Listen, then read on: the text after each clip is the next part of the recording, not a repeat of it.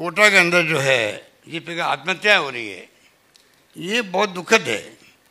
आप बताइए कि पिछले आठ महीने में बीस बच्चों ने सुसाइड कर लिया, बीस बच्चों ने ये हमारी चिंता कैसे होना चाहिए।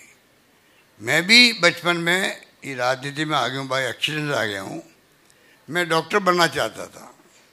रात को मैं दो दो, तीन दिन बजे तो पढ़ाई करता था अभी किसी जगह मेरा पीएम से मेरा नंबर आ जाए। और मैं उसमें कामयाब नहीं हुआ।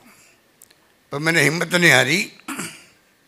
मैंने रास्ता बदला, सोशल वर्कर बना, राजनीति में आया और आज अब शिपी जोशी ने बता दिया आपको कि मैं केंद्रीय मंत्री बन गया, तीन बार मुख्यमंत्री बन गया हूँ। संगठन में मैंने काम किया लंबे समय तक। तो ये बच्चे जो है, इनके परिवार को भी चाहिए, इनके ऊपर दबाव नहीं डाले कोई भी तरह का। जो बनना चाहे बने वो। सबका फिक्स है, किसको क्या बनना है, किसी को नहीं मालूम है। किसी को नहीं मालूम है, जो बनना सबका फिक्स है।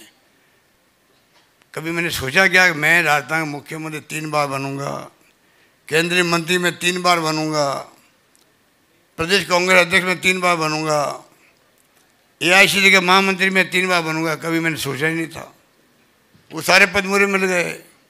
तो मैं कहना चाहूँ ये सुसाइड करने वाले जो ये जो हालात है वो बहुत गंभीर हालात है नौ से बच्चे, छोटे बच्चे, कितना दबाव उनके ऊपर है, उससे उनको काउंसलिंग ऐसी होनी चाहिए, जिससे कि नौबत नहीं आए बच्चों पे। दबाव नहीं पड़े कि भाई तुम्हें तो बनना ही पड़ेगा आईआईटी करनी है तेरे को।